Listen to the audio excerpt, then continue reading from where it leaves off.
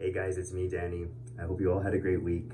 And today I want to talk about coconut oil and how you guys can use it to create for yourself a simple beauty regimen to enhance your skin and your looks and just be more handsome for the ladies, right?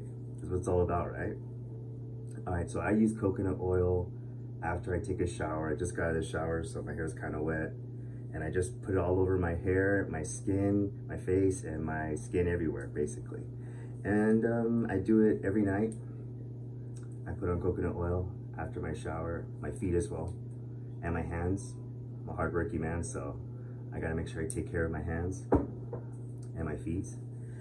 So maybe you guys don't use oils or you don't really have a nighttime, um, I guess you could say handsome regimen.